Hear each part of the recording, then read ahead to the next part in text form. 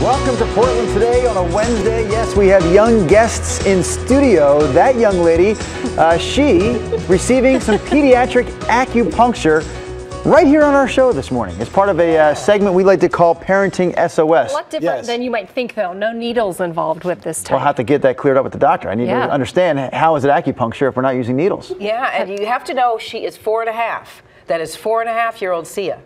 She told me she- mistake Four of and a saying. Are you four? oh, oh, good to know. I'm glad you told me. So have you guys had acupuncture? I have. I have two for my uh, shoulder, and it did relieve the pain. Mm-hmm. Yeah. My wife is a big believer. She's had it for. She went in for one thing, like her knee, and while she was there, she was complaining of a cold, and then she they, it helped heal her cold. Wow. And But what about was- the knee? Uh, the knee, it it started hurting on the other. No, no, the knee felt better. The knee felt better, and there was something else. I can't remember. Oh, it was like a skin condition.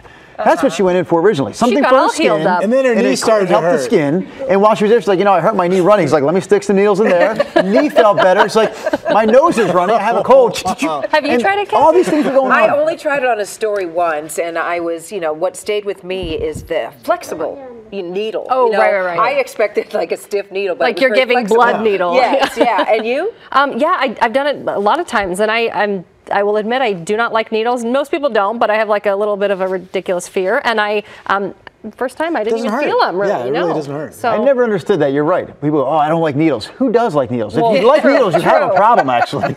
Well, I don't think Sia does, and they're not using needles on her this morning. Find out more about it. Let's do it. Let's take the walk. The long walk across the studio. Ashley, would you mind joining me, please? I will. Uh, not only is Sia here, her mother Margaret is standing behind her, and we have Corinne LeBlanc, acupuncturist and herbalist, representing the Nourishing Medicine Clinic. So the first question I had, how do we call this acupuncture if we're not actually using needles? That's a great question. So this is actually a method of Japanese acupuncture for children. Um, it's called Shoni Shin. It was developed in somewhere around the 1700s, and it was specifically developed for children as a way to do a non-invasive, totally gentle, totally painless. And it feels pretty good, right? Yeah, Sia, tell us what you uh, told me earlier. How does it feel when she's doing that? What does it feel like?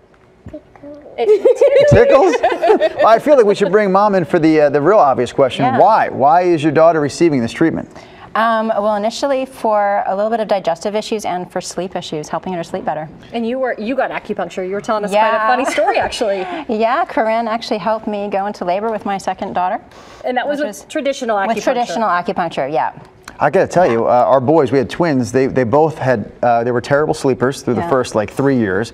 They had digestive problems too. They had that acid reflux. Mm. We didn't try the acupuncture. We did do a, a pediatric chiropractor. Uh, and that actually helped with the with the acid reflux.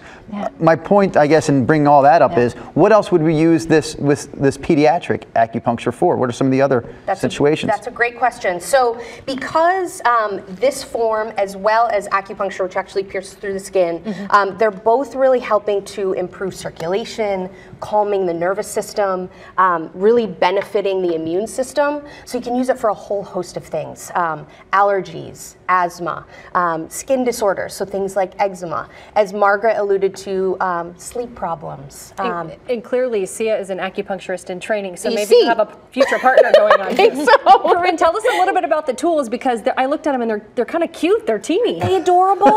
yeah, so Sia's definitely got her favorites, which are displayed right here.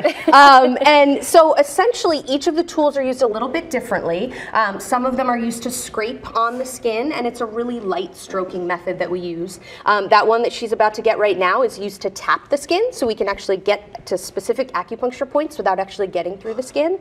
Um, and then others are used to, to roll on the skin, like this guy right here. I feel like a, I'm sorry, Ash. I feel like a pediatric uh, acupuncturist must have small hands themselves. I don't see Byron, who, who, who works in our studio with his big hands, being able to handle those tools. Like, I know it might be more difficult for Byron. I must admit. Sia, which one is your favorite? Do you have one you that you really love? What's that one? What does that one do? That looks sort of needle-like, little to be honest with you. Absolutely, yeah. So that one's really good for, like I said, kind of getting more to specific acupuncture points. So you can use that just like Sia is doing um, in a certain area and stimulate certain points. So let me ask Margaret, uh, mom again.